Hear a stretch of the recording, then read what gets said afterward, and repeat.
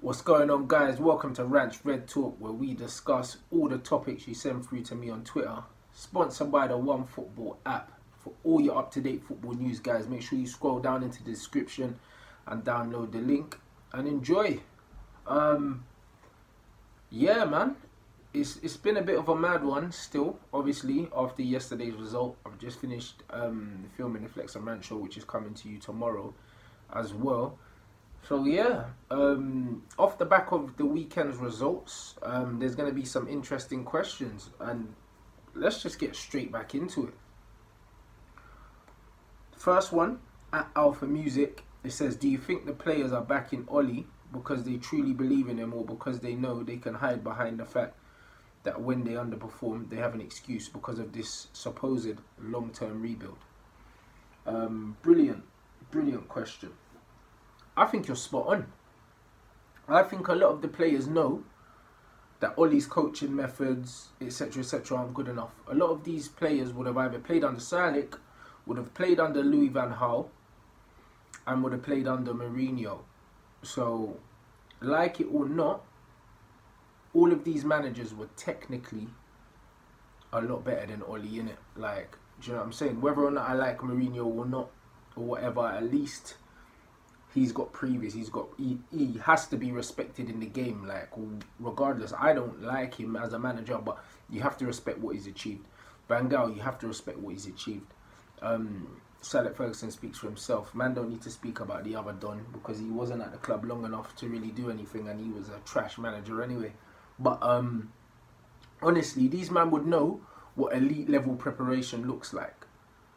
That fuss with Ollie on the side with Mason Greenwood flicking through the folder, blood. Real life PE teacher. Mason was like, what is this fucking shit, blood? Just let me get on the pitch and so I can just put the ball in the net. Mason couldn't believe it. Man flicked forward, flicked back, flicked up again, and he was just like, bro, what is this? It looked like Tetris, fam. So, really, we drew the game. Ollie comes out smiling, and then you've got David De Gea coming out talking shit, yeah, with the VAR picture saying, oh, look, I got fouled. Bruv, it's De Gea's fault we conceded that goal. He came out like a little pum pum, bruv, and that's exactly what he got. He came out like a pussy, oh, and you got what you deserved. If any of my players go into a tackle or a challenge or whatever with their eyes closed or they're turning away or whatever, you're getting pulled off, bruv, because you're not committed. The hair should have came right through, man, cleaned him out. End the story, bruv. Do you know what I'm saying? Like, you clean man out and then you ask questions after. There's none of this jumping, turning away and all that bullshit, bro. You got what you deserve, bro. 100% De Gea's fault for that goal. Harry Maguire coming out saying, um, I can't remember his um, exact words, um, but insinuating that we were unlucky and we've been clinical and this, that, and the other. Load of nonsense.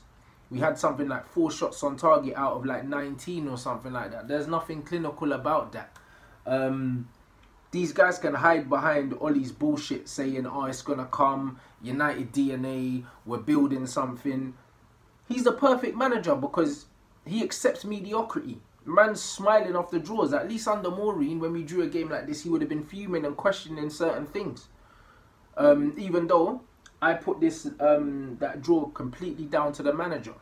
So it's one of them things where, of course, they want Ollie in there. It's like having one of their mates there. Um, them man are having a free ride. A lot of players should be getting a rocket that are not getting a rocket.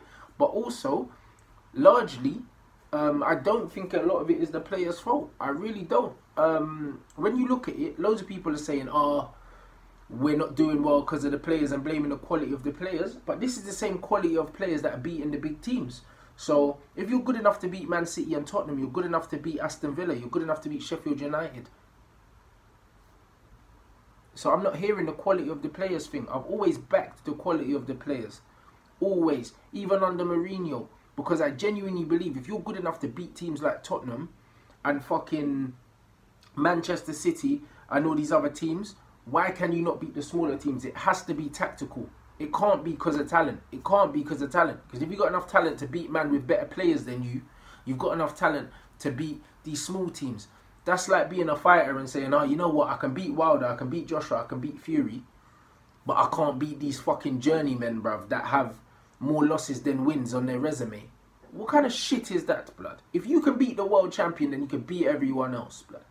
That's just how it is. So I'm not trying to hear no shit that it's not Ollie's fault why we can't beat the smaller clubs. At Munaj, I can't read your your thing. There's not enough, but it says one best sniper. Our only hope now is Pogba coming back in the attacking mid role. What if we're still shit then? What happens? We're not going to be. The reason why we're not creating is because we don't have um, we don't have anyone that can break the lines from the midfield, and also we keep bypassing the midfield. These stupid diagonal balls from Harry Maguire. It is kind of his fault, but then it's not his fault. I think it's his fault because he shouldn't always be looking for them pull-up passes. I think that he he takes too long on the ball, invites pressure on himself, and he has to go long. But on the flip side to that, because our midfielders are not getting coached to come deep and collect the ball off him, he doesn't have many um, many options on when he receives the ball. So I think it's a combination between coaching and I think Harry Maguire is dwelling on the ball a bit too much, which I do not like um, in general. But I think that Pogba's creativity changes the whole dynamic of the team. I keep saying we should go and get Christian Eriksen. It'll probably cost us 30 million tops in January.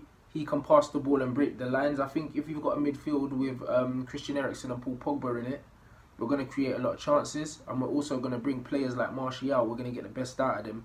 Because right now, bypassing the midfield for intelligent footballers, it's no good.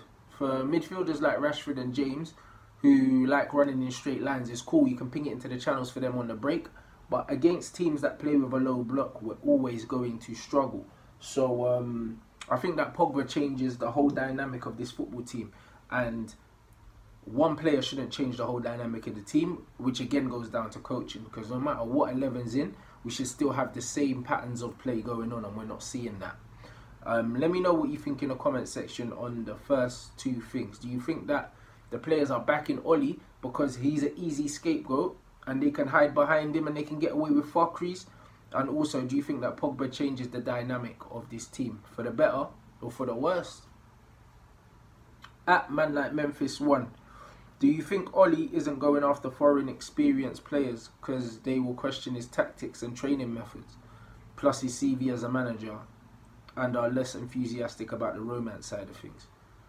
I think so. I think that it's very hard for Ollie to attract big name, experienced foreign players. Because why the hell would you want to play for Ole Gunnar Solskjaer?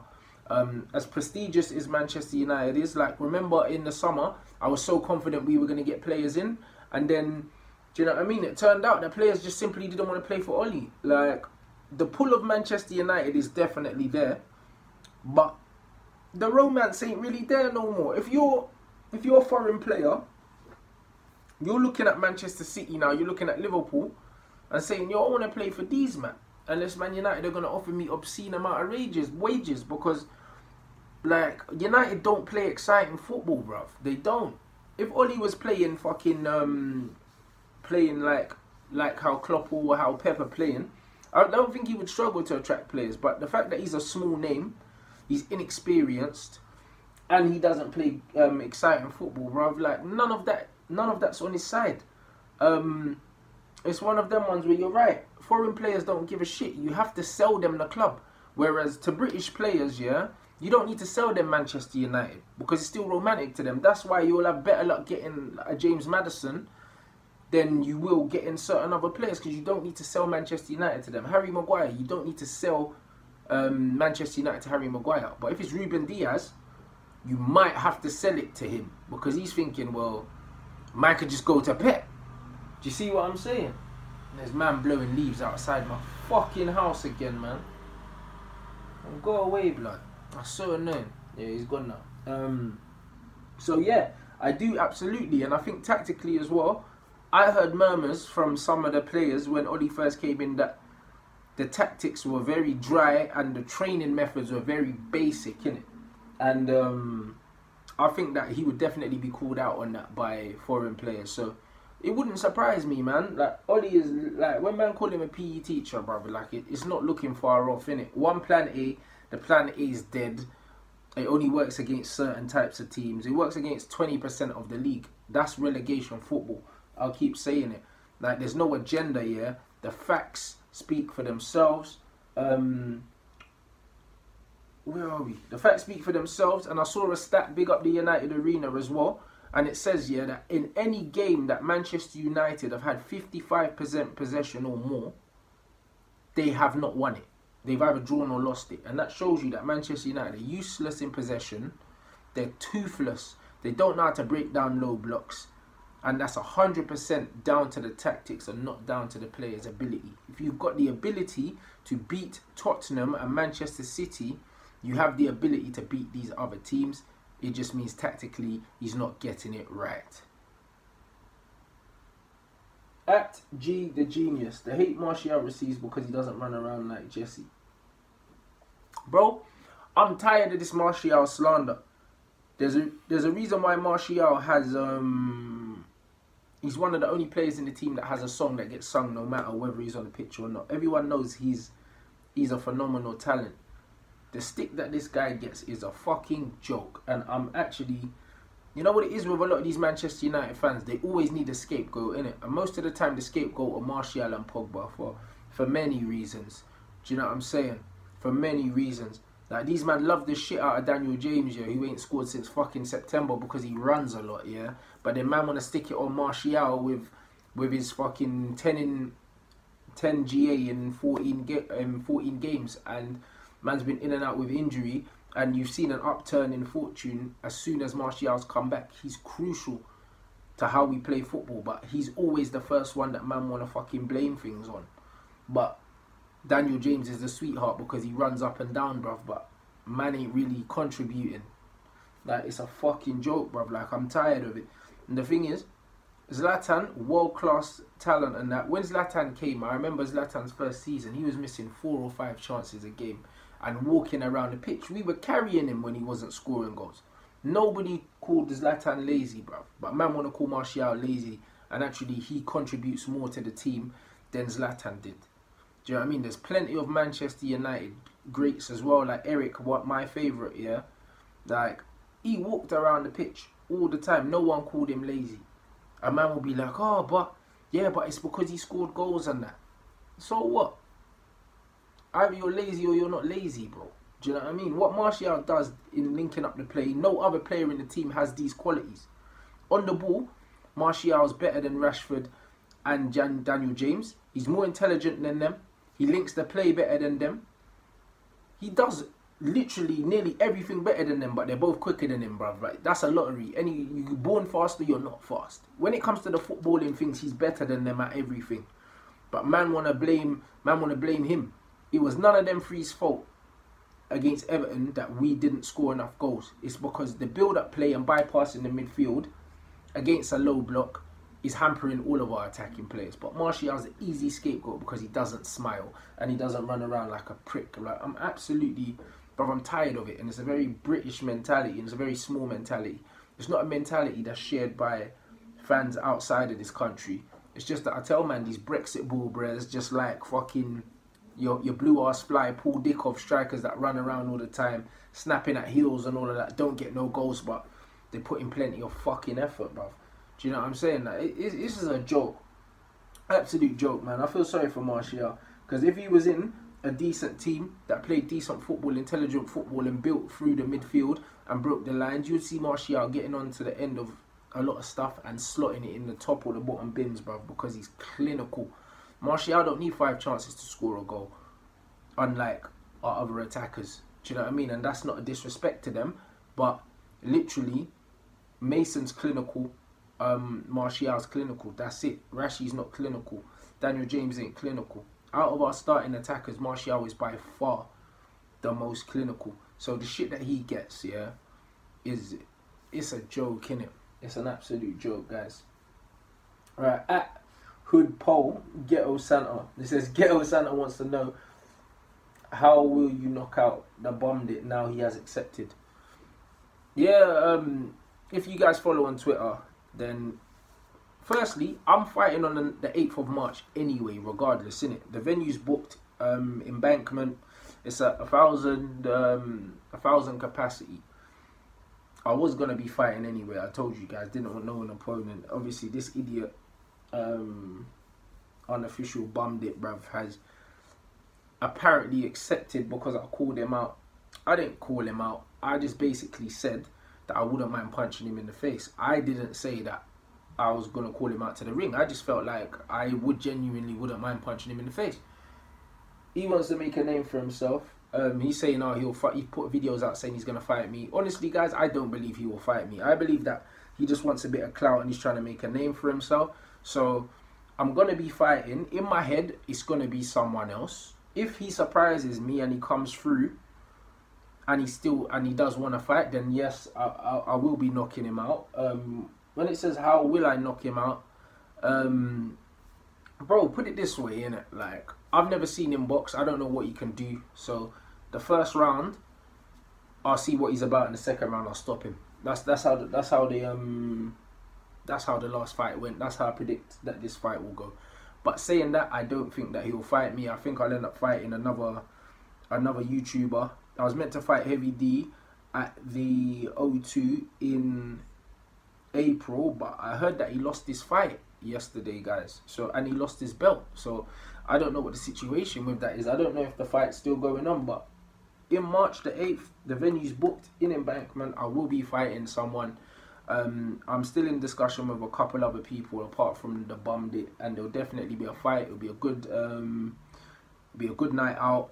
I'm promoting it myself. It's gonna be fun. There's gonna be good music, good vibes, and um, yeah, but I look forward to seeing you lot there. At says S underscore Akiyama four six four six.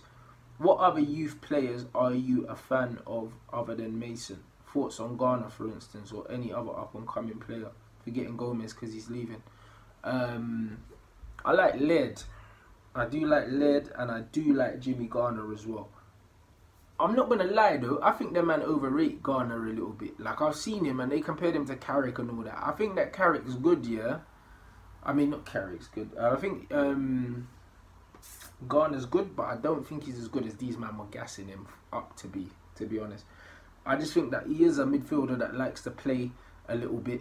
Do you know what I'm saying? And because he's man can know that these men are kind of gassed him up, bro. I think he's good.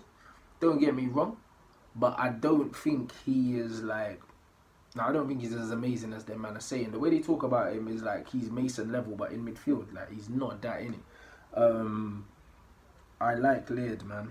Um, so I think he's unlucky with it with the position that he plays in because man are very well stocked there in it. But I do like him, guys. Um, let me know who your favorite academy prospect is. That is not obviously Mason Greenwood, isn't Tahith Chong and them because I see these men as first team players now. Um, and apparently Gomes has taken Manchester United out of his um, social media bios, and rightly so because um, Ollie's done him dirty, man. And I wish um, Gomes all the best wherever he does decide to go because he's a very talented player. At Dennis Joyce, Haaland to United. H money blood. H fucking money, bro.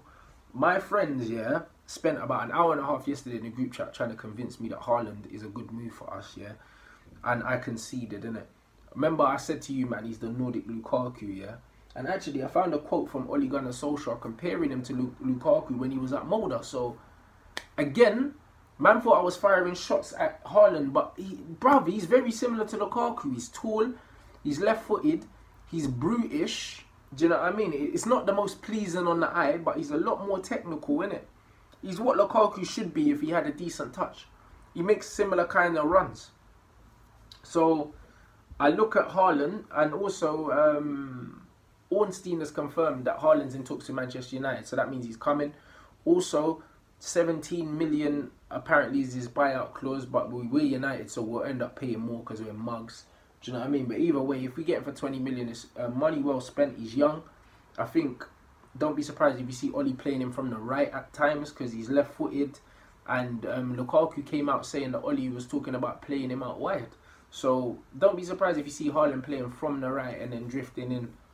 Um, I'm not gonna pretend that I'm super over the moon about it, but like I want to see him do well in it because he has got a striker's instinct. Like he's a very good finisher, um, and he's young and he can develop. So, in my honest opinion, the way Ollie was talking, I thought he was trying to rebuild. He was trying to do this fluid Manchester United, Rooney, Tevez, Ronaldo interchange in front three kind of thing. And obviously, a striker like Haaland doesn't really fit that for me. Like he's he's not a target man, but he's a focal point of the attack in it.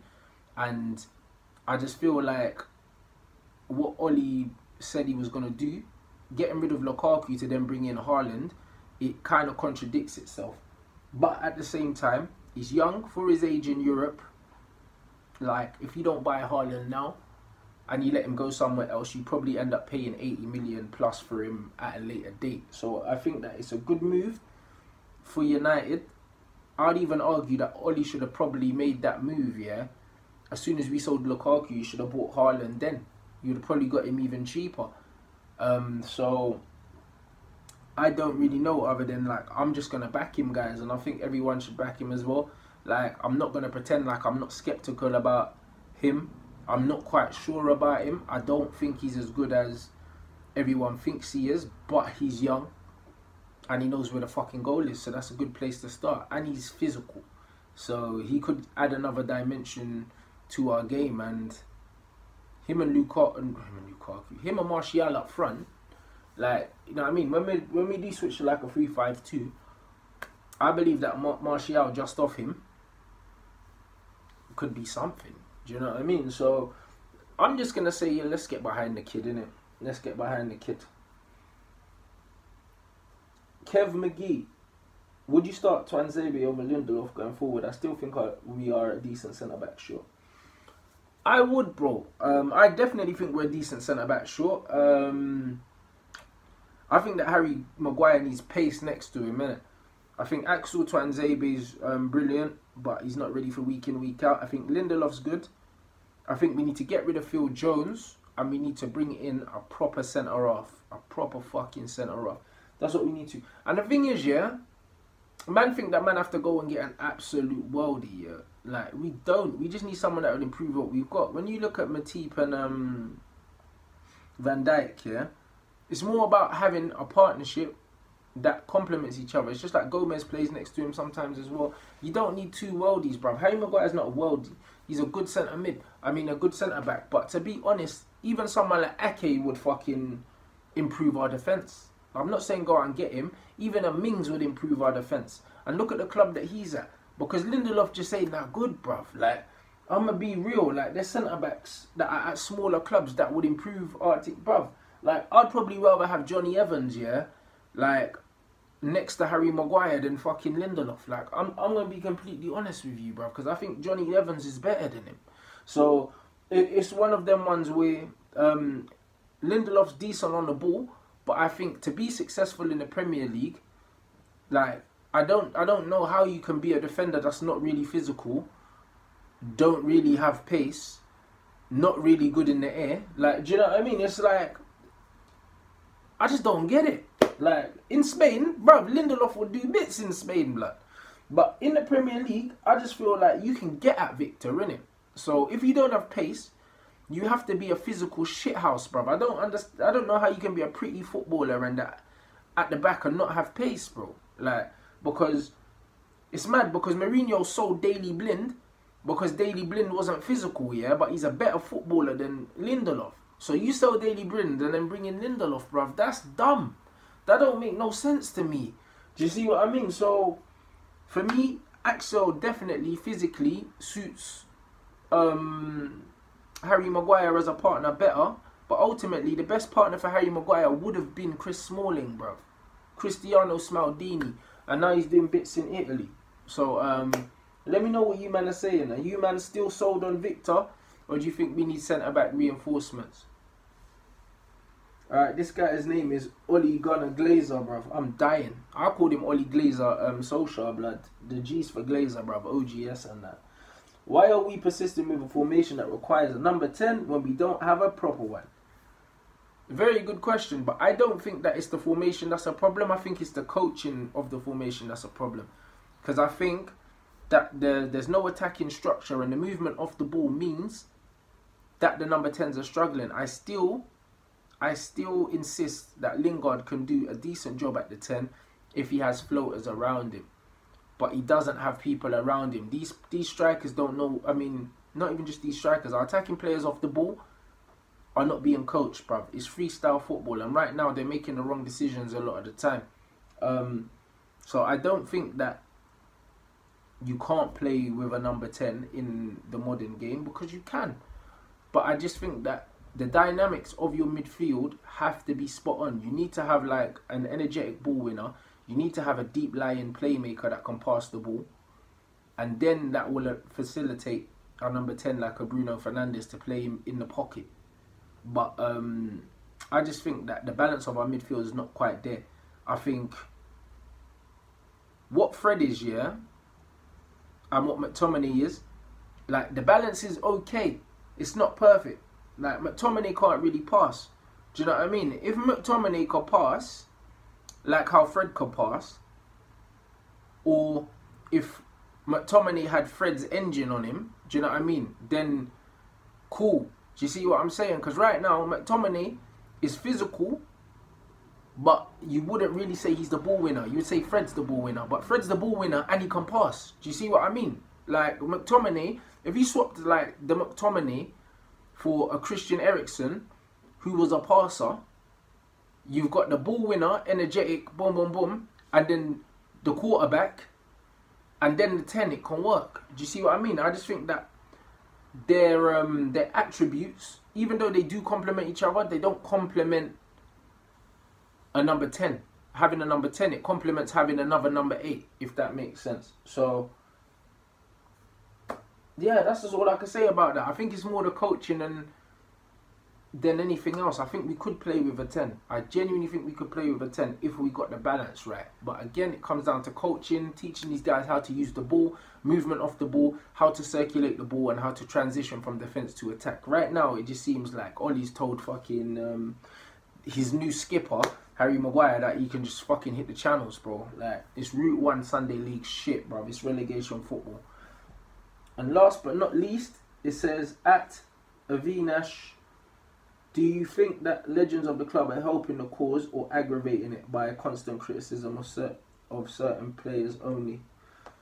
Um, guys, I'm gonna be honest with you, yeah in football, there's just a lot of politics and nepotism, yeah, and that's what you're seeing with a lot of these ex-players. That's why, with all due respect, I have to separate the player from the man in it, because a lot of these men chat absolute shit, and a lot of these men don't watch United week in week out. Don't be fooled, yeah.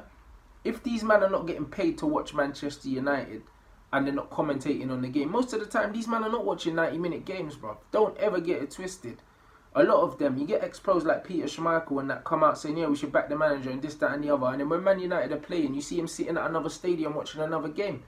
Most of these men are not watching the games live, bro.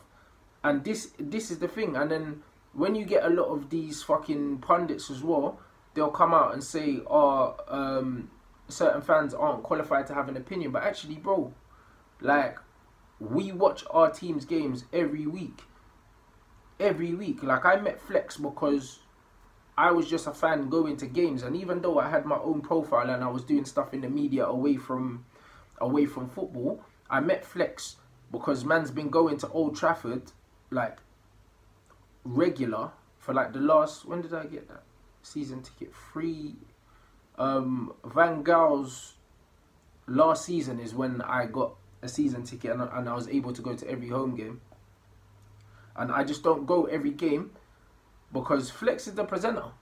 Flex is the presenter, so Flex has to be at all the games. I don't have to be at them, so like I go to the ones that I can go to, but I don't. Do you know what I'm saying? If I can't go, I can't go because I've got loads of other business things that I do outside of this. But the facts are, even if I'm not at the game, best believe I'm watching it, bro. Best believe I'm watching it. But I try and do my best to come to as many games as possible. So, a lot of these ex pros, as much as they say they love the club and all that, they love the club because they're born into this United thing. A lot of the time, and it's like, yeah, I love Man United, I love Man United. But are you watching the games though? Most of the time, they're not watching the games, bruv. If you're not seeing these man on Sky Sports doing punditry and stuff like that, these men are not sitting down watching three o'clock kickoffs and trying to find a stream if they're not at the game. They're not doing that.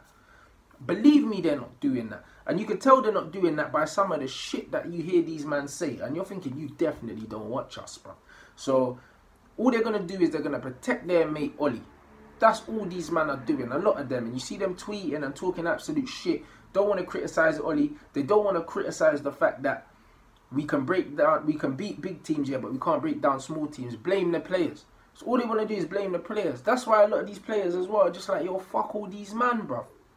It's a combination of envy because a lot of these players, like the Scholeses, the Giggses and all of that, they weren't making 100 grands a week like the Jesse Lingards and stuff like that. They weren't.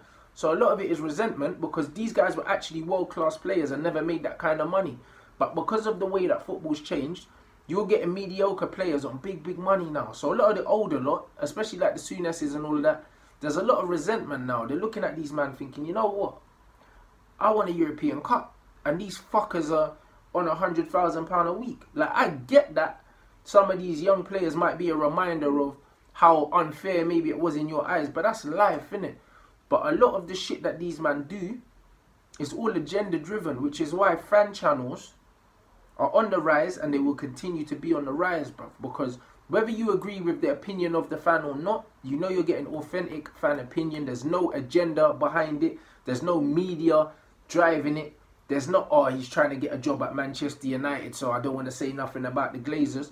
Because when men are talking about the, the Glazers and Ed Woodward and that, how many of these pundits and ex-footballers are talking about them? Jamie Carragher will talk about the owners, but where's Gary Neville coming out talking about the owners or any of these other men?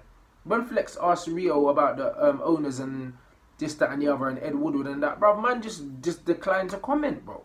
Do you see what I'm trying to say? So the real fan opinion, yeah, is where you're gonna get the real shit, whether you like it or not. So don't rely on any of these ex-pros to give you anything but biased, yeah, or agenda-driven opinions, blood, because them man are thinking about their brand and their pocket and their relationship with the club first and foremost. We don't have no relationship with the club. We do get press passes and all these other things, but that's not given to us by the club. That's given to us a lot of the time by the opposition club when we travel in Europe. So either way, guys, like just don't expect that from these guys, bro. Yes, they're Manchester United legends, they're Manchester United fans or whatever, but these man are not waking up at three in the three o'clock in the morning like some of you um, overseas fans. Um, they're not getting up and traveling, yeah, from fucking London or from Bristol or from Birmingham or whatever, like you guys, to go stand in the fucking freezing cold. If their man are not in a press box here, more times they're not at the game. So that that's all I can really say um, about that. But thanks for your questions, guys. That was your Rants Red Talk, sponsored by the One Football app for all your up-to-date football news. Link is in the description. Also, people keep asking me about um, my King merchandise as well. My discount code and the link for the clothes is in the description to all my YouTube videos. You're welcome to use that whenever you want. Um, I'm going to leave the code ongoing so you lot can get that. It's Manlike Rants at the checkout for your discount. Um, and yeah, man, it's been emotional, guys. Any more news about the fights or whatever, make sure you follow me on Instagram and Twitter at Rants and Bants to stay up to date with all of that shit. And the Flex and Rant show comes out tomorrow at 1 o'clock the Mason Greenwood agenda has been pushed, bro. I'm looking forward to you lot seeing that. We had a lot of fun filming that. So yeah, enjoy the rest of your evening. And man will catch you in a bit.